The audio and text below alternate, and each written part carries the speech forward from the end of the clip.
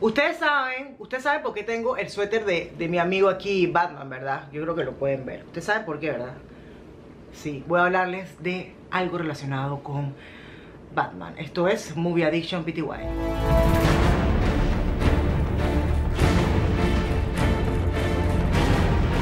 Hello, ¿qué tal mis amigos de YouTube? Mi nombre es Yara y como siempre le doy la más cordial bienvenida a todos a este su canal y a los nuevos los invito a que se suscriban. Por favor, como siempre les pido, suscriban que... Viste, yo equivocándome, como siempre. Suscríbanse para que puedan tener contenido nuevo cada semana. Y hoy, en este video, vamos a hablar de las 7 mejores películas de Batman fuera del DCEU, ¿ok? No voy a hablar de la era de Ben Affleck, ni lo que están haciendo ahorita eh, Warner con el DCEU, no. Voy a hablarles de todas las películas live action de Batman y para mí cuál ha sido la peor y cuál ha sido la mejor. Recuerden que estos son apreciaciones mías. Eh, puede que... Estoy segura que vamos a concordar con la peor y vamos a concordar con la mejor. Pero puede que en el camino hayan películas que ustedes piensen, no, pero yo pienso que la otra es mejor y que... Mal. No hay por qué, no hay por qué ser hater y si piensas diferente a mí, simplemente me lo comentas y me dices, oye, tú sabes que yo creo que me parece que esta era buena, pero bueno, me gustó mucho tu video y te voy a regalar un like y encima de eso me voy a suscribir. Eso sería muy sólido. En fin, vamos a empezar. La peor película de Batman, ¿cuál es? Adivinen cuál es, por supuesto, Batman y Robin. A pesar de que el personaje de Robin a mí me gustó y que no me pareció que era como una especie... Eh, eh, eso era como una combinación de... Si yo no me equivoco, ese era, ese era Dick Grayson. Si me estoy equivocando, me perdona. Pero a mí me parecía que Chris O'Donnell se parece más a Tim, eh, Drake. Sin embargo, eh, esta película nada que ver. Esta fue la segunda película que... A ver. Sí, la segunda película que hizo Joel Schumacher. Eh, yo todavía no entiendo cómo fue que Warner permitió que Joel Schumacher se metiera en este proyecto de Batman y dañara todo lo que había hecho Tim Burton, pero todavía no hemos llegado allá. En fin, eh, esta fue la segunda película que hizo eh, Joel Schumacher. Hay actuaciones dentro de la película que a mí en lo personal me gustaron. Por ejemplo, vuelvo y repito, la de Chris O'Donnell como Robin y la de Uma Thurman como... Em, coño, a mí yo no entiendo por qué esto pasa. Poison Ivy, a veces se me, se me escapan las vainas. Pero de ahí para adelante, nada que ver. George Clooney como Batman, por favor, por favor. Y Arnold Schwarzenegger como, como Mr. Freeze, Dios mío, o sea, yo no sé qué pasó. Además de que, definitivamente que Joel Schumacher dañó la, la, la, la franquicia de Batman poniéndolo eh, él, él, quiso. Yo leí una entrevista que él decía que no, que yo no entiendo por qué las películas de Batman tienen que ser oscuras. Hello, Batman es así. Batman es oscuro. No le puedes quitar eso a Batman porque eso es lo que lo eso es lo que lo caracteriza y lo que lo diferencia. En fin, esta ha sido la peor película de Batman que han hecho Batman y Robin. Así que esa está en mi séptimo lugar. En mi sexto lugar está Batman Forever, la otra película de, de Joel Schumacher. Esta fue la película con la que él inició su carrera en el mundo de Batman. Donde tenemos a un Val Kilmer que no hizo un mal papel como Bruce Wayne. Me gustaba mucho como Bruce Wayne. Sin embargo, no me terminó de convencer ya después, después de haber visto a Michael Keaton y donde tenemos a actores como Nicole Kidman, como el grandioso Jim Carrey haciendo de Riddler. Este fue uno de los mejores papeles que yo he visto eh, eh, eh, en esta película. Me gustó muchísimo Jim Carrey como The Riddler. Creo que eso fue una de las únicas cosas que brillaron de la película. Y Tommy Lee como Two-Face, realmente no me gustó. Quizás fue por el maquillaje o por yo no sé ni por qué. También considero de que, de que, de que Two-Face no es tan tan loco y tan dramático como él lo hizo ver en la, en la, en la película, pero sin embargo, pero bueno, o sea, el problema es que la dirección, pues, que, podemos esperar? ¿no? Es Joel Schumacher el que está dirigiendo eh, la cosa. En fin, esa es mi película número 6. La película que está en mi quinto lugar es The Dark Knight Rises, es la tercera entrega de el grandioso Christopher Nolan. Esta película Oye, me acabo de acordar que ayer leí una noticia, ahora les comento. Esta película, eh, que fue la tercera entrega de Christopher Nolan, es la película que terminó la gran trilogía que él hizo.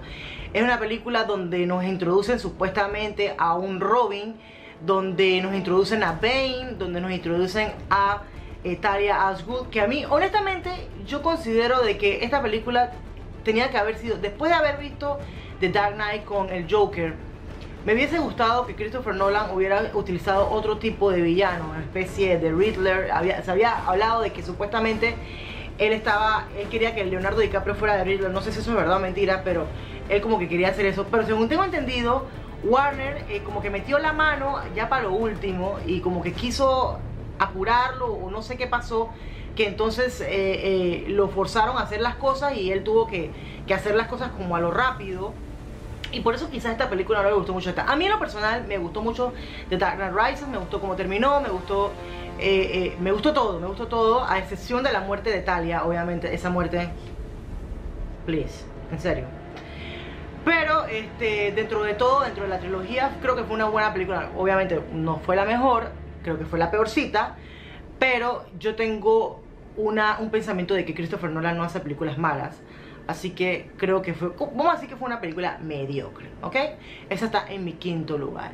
En mi cuarto lugar está Batman, eh, la película, la primera película de Tim Burton, donde vemos por primera vez a Batman y a Bruce Wayne caracterizado como una persona, o sea, un live action y vemos al grandioso Michael Keaton que sin duda es, ha sido uno de los mejores Batman, por no decir el mejor, me atrevo a decir que ha sido el mejor dependiendo de qué era de Batman estás agarrando, porque para mí Ben Affleck, pero no estamos hablando de las películas del, DCU, para mí Ben Affleck es, una, es un buen fit para Batman porque se parece mucho al Batman de Frank Miller y y cuando tú te pones a ver fotos de los cómics de Batman, se parece mucho, eh, o sea, Batman es así, ¿no?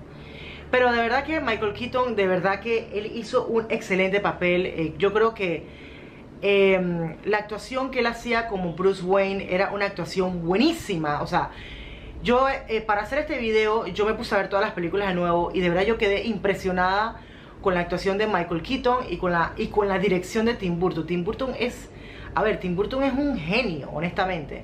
Así que pues esa película eh, está en mi cuarto lugar, Batman. Vemos a, obviamente vemos a Jack Nicholson como The Joker. Em, y eh, la verdad que fue una. Y Kim Basinger, imagínate, Kim Basinger que ya ni siquiera sé dónde está. Eh, trabajando pues ahí como el Love Interest de, Batman. La verdad que me gustó mucho, creo que fue un buen comienzo de esa trilogía pero está en mi cuarto lugar. En mi tercer lugar está Batman Begins, que fue también el comienzo de nuevo, o sea, eh, el reinicio de una nueva trilogía, el reinicio de la franquicia de Batman, donde tenemos a eh, Christopher Nolan pues de director y donde tenemos a Christian Bale haciendo de Batman. Me gustó esta película, a ver, esta película me gusta mucho porque esta película de verdad que nos enseña los inicios de Batman. Nos enseña cómo es que él entrenó, dónde él aprendió tal cosa, todo el, proceso que lo llevó desde, desde la muerte de sus padres hasta la primera, el primer momento en que él se puso el traje de Batman, todo ese proceso, em, el, proceso de crecimiento de él. Y eso por eso que me gustó mucho esta película, porque fue la primera película de Batman que nos muestra esto.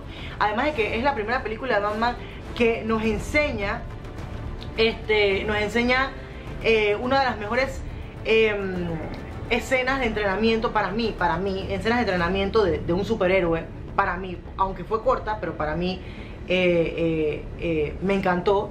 Y la verdad es que fue una película que de verdad, que cuando esta película salió, ya sabíamos que lo que venía, wow. Esa película está en mi tercer lugar. En mi segundo lugar está Batman Returns. ¡Wow! Esta película, Batman Returns, si no existiera The Dark Knight, que ya deben saber que The Dark Knight está en el primer lugar, Batman Returns debería estar en el primer lugar si no existiera The Dark Knight. Batman Returns es un peliculón. O sea, es un peliculón, es un peliculón. Vuelvo y repito, la vi hace poco de nuevo. Michael Keaton, combinación de Michael Keaton, Michelle Pfeiffer como Gatúbela y Danny DeVito como el pingüino. Además de otros personajes como el de Christopher Walker. Mira, la verdad es que esta película fue buenísima. Honestamente, esta fue el de esta fue The Dark Knight para, para Tim Burton. Fue una película que realmente este nos empujó más hacia el mundo de Batman, nos abrió más el, espectro de lo que significaba ser Batman y de las cosas que, pasaban en el mundo de Batman y nos presentó estos dos buenísimos villanos que nail it en el papel, o sea, lo hicieron excelente. Por eso que esta película se lleva mi segundo lugar. Esta película, yo no sé si ustedes tienen rato de no ver las películas de Tim Burton de Batman, pero si ustedes quieren darse cuenta de cómo se hace una película de superhéroes y que sean buenas de verdad, realistas de verdad, vayan a ver esas películas porque honestamente, o sea, a otro nivel. Eh, eh, dato curioso, esta película fue nominada a dos Oscars de la Academia. Eh, es la primera película de superhéroes que es, es nominada a Oscars de la Academia. empezando pues la, la raya esa de, nominaciones al Oscar por parte de películas de Warner DC. de lo buena que fue, creo que fue nominada a Mejor Makeup y no recuerdo la otra, la otra nominación, pero o sea, simplemente el hecho de estar en alguna categoría del Oscar ya es un logro muy grande. Y por supuesto, vamos a nuestro primer lugar, que ya saben cuál es, The Dark Knight, por supuesto. Mira, yo estoy haciendo un análisis que me ha tomado bastante tiempo. Porque no estoy dedicada full a hacer ese análisis, estoy haciendo otras cosas también. Pero yo estoy haciendo un análisis de por qué The Dark Knight es la mejor película de superhéroes ever. Sí, ever. Inclusive sin ver Infinity War, yo sé que The Dark Knight es la, mejor película de superhéroes ever. Ese análisis se lo voy a dejar para después, se lo voy a presentar después. Pero mira, esta película, esta película... ¿Tú sabes por qué a mí me gusta esta película? Porque esta película, y no me quiero adelantar mucho el análisis que estoy haciendo, pero aquí Batman realmente era el secundario. Batman estaba superditado o estaba siendo manejado de principio a fin por todas las cosas que quería el Joker. Y realmente vemos a un superhéroe que va creciendo y va haciendo y va reaccionando gracias a las actuaciones del enemigo. O sea, no es de que, que durante toda la película, ay, no sé qué, ay, Batman, no sé qué, no sé qué, no sé qué, pelean, pelean, pelean, pelean, y al final él, él, le gana. No, esto va esto, esta película te, te demuestra como un crecimiento. Yo no sé si me estoy explicando, te muestra como un crecimiento en el personaje de los dos, tanto de Batman como de Joker, que es como una simbiosis que hay entre ellos dos y que me gusta mucho porque realmente representa la relación que tiene el Joker con Batman en los cómics. A pesar de que Christopher Nolan trató de, hacer un Batman bastante realista, en esta película él, él nos dio eso, nos dio esa relación que tiene Batman con el Joker y las cosas por las cuales se hacía pasar el uno al otro, ¿me explico? Entonces esto fue una película, eh, wow, fue ha sido la mejor película de Batman que yo he visto en la historia del mundo, ha sido la mejor película de superhéroes que yo he visto, esto, esto, esto más bien es como una película, una película de gángster, de drama, de, de, de, sí, de drama, donde tenemos a una persona que es un superhéroe, o sea, o que es una persona que está tratando de ser un superhéroe. Así que por supuesto, esta es eh, la película, la primera en la, en la lista. Esto es una película, como saben, fue nominada al mejor eh, eh, Oscar, mejor actor de reparto y ganó Heath Ledger. Mira, mucha gente dice que él ganó porque él murió. Gente, él no ganó porque él murió. Él ganó porque él se lo mereció. O sea, él se lo merecía. Heath Ledger se metió en el papel de Joker. Y el Joker de Heath Ledger era un, Joker, no como el de Jared Leto, que el Jared Leto es como psicópata. El de Heath Ledger era más bien como anarquista, o sea, el, de Heath Ledger era, era contra la sociedad. Entonces, eh, él se ganó ese premio. La gente que me dice a mí hoy en día que no, porque él se ganó el premio porque, porque, porque, él, porque él murió. No, no, señores, él no se ganó el premio porque murió. Él se ganó el premio porque él se lo merecía. Así que, eh, por supuesto, esa está en mi primer lugar. Y ya les he hablado pues de las películas live action, mi top 7 de las películas live action. Estoy haciendo otro top de las películas animadas de Batman que están muy buenas también. Pero eso lo haré después. Y eh, espero que este video haya sido de su. Eh, como siempre les agradezco siempre por estar aquí, por apoyarme, por darme mi like. Si me quieren comentar lo que me quieran comentar, coméntenlo. Y eso sería todo. Nos vemos en el cine.